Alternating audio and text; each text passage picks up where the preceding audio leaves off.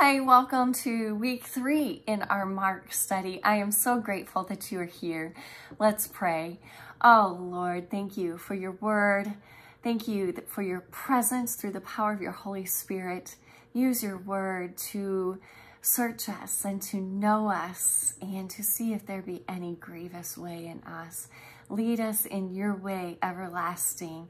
Our hearts resonate with David's prayer, Lord. In Jesus' name, amen. Okay, let's go ahead and read. We're day one, Mark chapter 3, verse 1.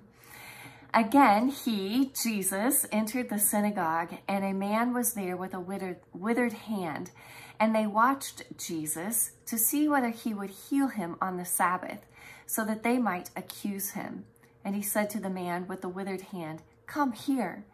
And he said to them, is it lawful on the Sabbath to do good or to do harm, to save life or to kill? But they were silent. And he looked around at them with anger, grieved at their hardness of heart, and said to the man, Stretch out your hand. He stretched it out, and his hand was restored. The Pharisees went out and immediately held counsel with the Herodians against him, how to destroy him.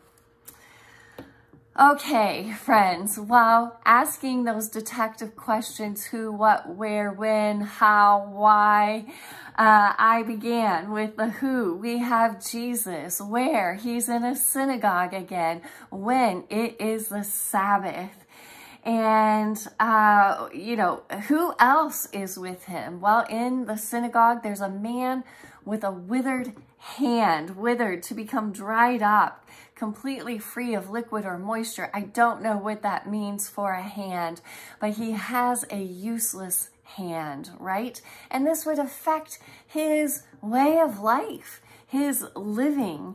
So, uh, yeah, he's not having the use of a hand would be very, very difficult in this first century ancient Near East time period.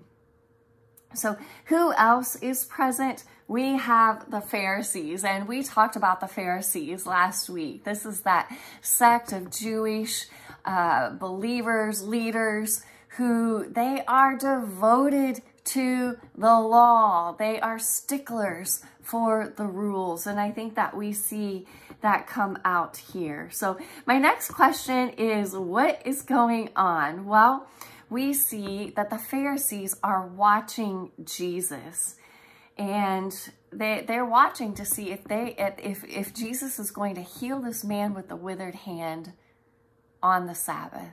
Why? Why are they watching him so intently? Is it so that they might rejoice and see, is this God? Are their hope, are, are their hearts open to God and to the miracles of God?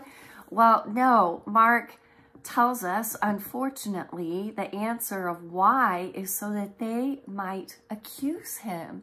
They might accuse him, meaning they might level a charge against him. And most likely, this is in a legal sense and probably in a religious legal sense, right? So that that's kind of the gist of it. what happens is that Jesus goes ahead and heals the man, right? That my main point, I just said Jesus heals a man on the Sabbath before the Pharisees in the synagogue. Their hearts are hard and they leave to plot and kill him, all right, to destroy him. That's, that's the meaning of destroy. So pretty, pretty ugly, right? Pretty ugly. Um, I just, yeah, I, in fact, in my interpret column, I just wrote Jeepers. This is conflict indeed. Last week, we wrapped up by talking about conflict. And, uh, yeah, we, we did. So, my question was, what do I learn about the Pharisees? So, you know, I, I think maybe before I answer that question or, or share how I answered that question, we should talk about who the Herodians are. The Herodians are a sect of Jewish people who um, they sympathized with the Romans, all right? They were Roman sympathizers. So they and the Pharisees, they've never agreed on anything. They look at the world from two different viewpoints. It's like two different political systems. And uh, here they are, they come together to plot against Jesus. So just wanted to point that out. But here was my question. What do I learn about the hearts of the Pharisees? They are hard of hearts. And what does Jesus mean by that hardness of heart? They are callous. They, they have a callousness on their heart. They are devoid of feeling and mental awareness. That's the meaning of hardness of heart uh, devoid of feeling and mental awareness. Like, they, you know, I want to know, why don't they rejoice? Jesus is giving this man new life, a new lease on life. He'll be able to use his hands to go and work and provide for himself and his family. Uh, yeah, and, and Jesus's question, is it lawful? He's looking right at them. Is it legal? Is it permissible to do good on the Sabbath? Or is it more legal to do harm?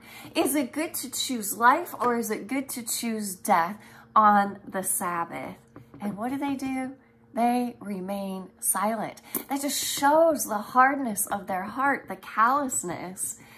All right, so that's what we learn about the Pharisees. And boy, I just feel like as an application, there's a, there ought to be a heart check. There ought to be a heart check. Um, yeah, am I a Pharisee in any way? Like, I mean, I, I know most of you would say, no, Carmen, you're not a Pharisee, but Lord, no, search me and know me. Is there some crevice of my heart where I am hardened, where I am callous? And I am like a Pharisee. I think that's a worthy application for today. Well, finally, let's just end up with here's what I learned about Jesus. I asked that question. What do I learn about who Jesus is? Number one, he is Lord over the Sabbath and he gifted the Sabbath to us. That's where we ended up in Mark chapter 2, right? Jesus saying that the Son of Man is Lord over the Sabbath. Number two, I see that Jesus cares. He cares for the needs of people. What I see with the Pharisees is that they care about the rules. Jesus is caring about people and he cares about the life of this man with a withered hand. Uh, third, I see that Jesus looks he sees, like he's looking at the Pharisees. He sees them. He sees their hearts. And number four, he feels anger. He feels anger over wrongdoing. They just remain silent. And he is angry.